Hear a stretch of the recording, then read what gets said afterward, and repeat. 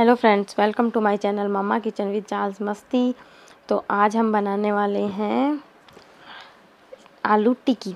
बहुत ही करारी, बिल्कुल बाज़ार की जैसी क्रिस्पी तो ये मैंने एक किलोग्राम आलू लिए हैं, उसमें एक कटोरी मैंने राइस फ्लावर डाला है और ये आधा कटोरी मैंने मैदा डाली है उसमें, हरा धनिया, कुछ हरे धनिया की पत्तियाँ मैंने इसमें ऐड कर दी हैं।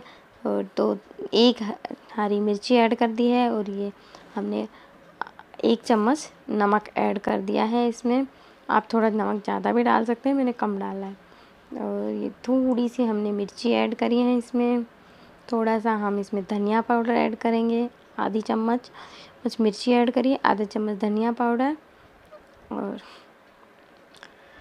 अब हम इसको अच्छे से मिक्स कर लेंगे। ये आलू और जो हमने आटा डाला, ये राइस फ्लावर और जो मैदा डाली है उसको चावल का जो आटा, चावल को हमने पीस लिया था, उसका आटा बना लिया, उसको अच्छे से छान कर आप मार्केट में मिलता है, वो भी ले सकते हैं। तो ये हम इनको अच्छी तरह से मिक्स कर लेंगे, अच्छे से इनका एक अच्छा सा टो तैयार करेंगे। इसमें पानी ऐड नहीं करना है, हमें इसी से इसका टो अच्छा सा टो तैयार करना है। तो ये देखिए तो हमारा रेडी है।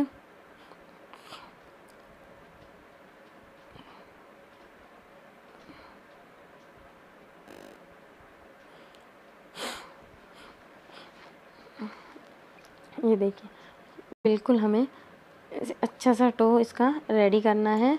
ना ज़्यादा पतला हो, ना ज़्यादा गाढ़ा हो। मैंने आलू को उबाल कर एक दो घंटे के लिए रूम टेम्परेचर में रख दिया था। तो ये देखिए, हम हाथों के चिकना लगाकर अब हम जो आलू टिकिया है वो तैयार करेंगे। हाथों के हमने हल्का सा घी लगा लिया है चिकनाट लगा ली है थोड़ी सी, जिससे हम इन्हें अच्छे से बना सके। पहले गोल गोल करेंगे। ये देखिए, अब इसको दबाव डाल, दबाव देकर ये देखिए, बिल्कुल टिकिया के सेप में लाएँगे। ऐसे ही हम सारी टिकिया तैयार कर लेंगे।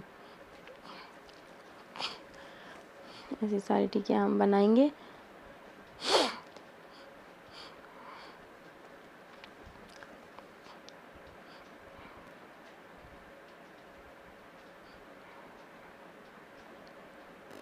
ये देखिए, हमने ये बनाकर रख लिए आप इन्हें कुछ देर के लिए फ्रीज में भी रख सकते हैं, उसके बाद फ्राई कर सकते हैं। अब हम इन्हें फ्राई करेंगे। कि बस टाइम हो तो आप इन्हें आधे घंटे के लिए फ्रीज़ में रख कर फ्राई करें तो ये और भी अच्छी हो जाती है। ये देखिए मैंने तेल थोड़ा कम डाला है, आप डीप फ्राई करना चाहें तो अच्छे से भी डाल सकते हैं। तो ये हम इसमें इनको पकाएँगे। एक तरफ़ से पक गई तो हम इन्हें पलट देंगे और इन्हें अच्छे से ब्राउन होने तक हम इन्हें भून देंगे। ये देखिए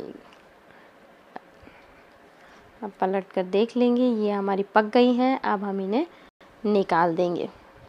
और ऐसे ही हम सारी जो टिकियाँ हैं हमारी, उनको फ्राई कर लेंगे।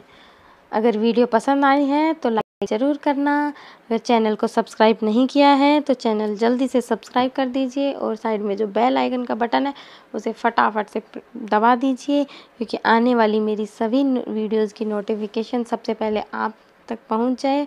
और जिससे मेरी सभी वीडियोस आप देख सकें नई नई रेसिपीज़ तो और शेयर भी करें, ये देखिए हमारी, ये देखिए कितनी क्रिस्पी और कितनी अच्छी हमारी ये टिकिया बनकर तैयार हो गई है। अब हम इन्हें सर्व करेंगे। ये देखिए दो मैंने टिकिया ले ली हैं, हल्का सा इन्हें, तोड़ भी लें या फिर वैसे भी हम इस पर सबसे पहले दही डालेंगे। दही को मैंने थोड़ा फेंट लिया था।